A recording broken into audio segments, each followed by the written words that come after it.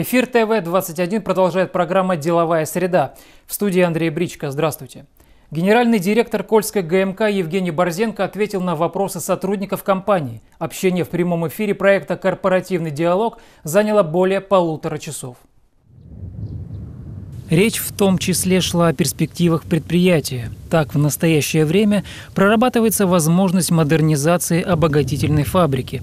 На Мончегорской площадке на повестке начало проекта «Большая медь» и завершение строительства современной линии резки и упаковки готовой продукции в цехе электролиза никеля номер два. Ну, мы рассматриваем э, вопрос строительства э, нового передела э, взамен выбывая в будущем выбывающего цеха электролиза номер один.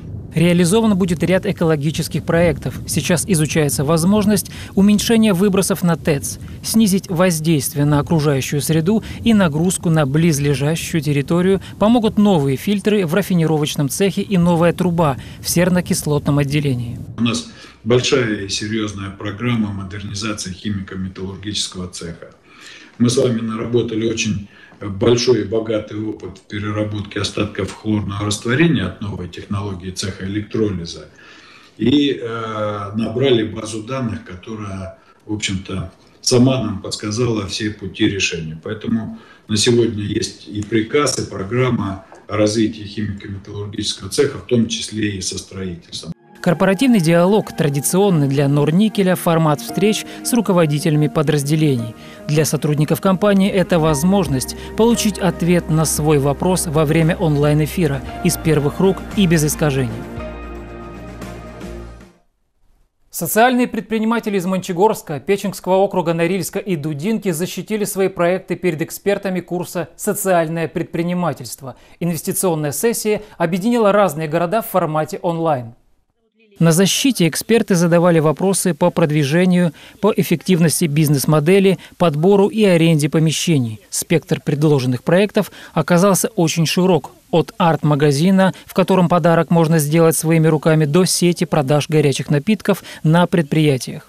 Теперь эксперты должны определить наиболее жизнеспособные предложения. Их реализацию беспроцентным займом поддержит Норникель. Я рад, что количество проектов у нас э, превышает, на мой взгляд, последнюю защиту, даже офлайновую.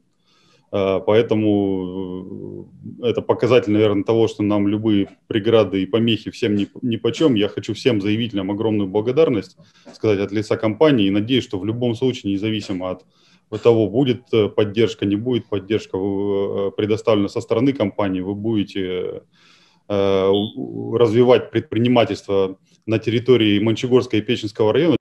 Обучающий курс «Социальное предпринимательство» – это часть благотворительной программы «Мир новых возможностей» компании «Норникель». За пять лет обучение прошли более 1400 человек из Норильска, Мончегорска и Печенгского района. «Норникель» поддержал около 30 проектов на общую сумму более 100 миллионов рублей. В Мурманске обсудили реализацию мероприятий второго этапа проекта «Никель Туризм-2025». Это совместная инициатива Мурманского арктического государственного университета и Центра «Вторая школа» в Никеле. Проект направлен на развитие индустрии гостеприимства в Печенском округе. Это важно для территории, переживающей социально-экономическую трансформацию. На первом этапе специалисты социологической лаборатории МАГУ провели анкетирование, и изучили, насколько жители муниципалитета готовы работать в туристической отрасли и какие дополнительные компетенции им нужны. И следующий этап, что в соответствии с теми данными, которые мы получили в рамках исследования, мы сейчас уточняем те образовательные программы, которые мы хотели, ну и планировали изначально запустить. Одна из этих программ связана с гостиничным и ресторанным бизнесом, она будет первая, то есть мы планируем, что мы приступим к обучению по этой программе э, осенью, то есть когда начнется осенний семестр. И здесь нужно отметить, что в рамках исследования нам уже порядка 100 человек э, прислали свое пожелание участвовать в этой программе, то есть действительно запрос очень большой. Вторая программа будет посвящена управлению туристической территорией в арктической зоне. Планируется, что одними из первых слушателей курсов станут преподаватели Печенского техникума. Это позволит в дальнейшем выстроить стройную систему среднего в техникуме и высшего в университете профессионального образования в сфере туризма. Мы э, постоянно обсуждаем, и у нас есть различные проекты, которые нацелены как раз на трансформацию Печенского политехнического техникума.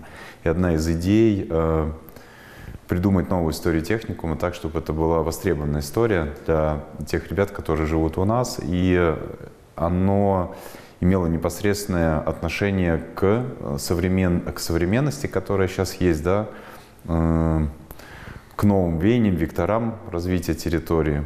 Напомним, проект «Никель Туризм-2025» – один из шагов по реализации концепции развития Печенского округа, разработанной совместно муниципальными, региональными властями и Норникелем. Время в эфире деловой среды подошло к концу. С вами был Андрей Бричко. Удачи и до встречи.